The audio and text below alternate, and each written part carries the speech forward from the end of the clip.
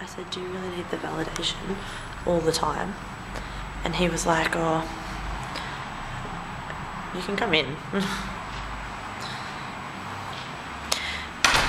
He's, um,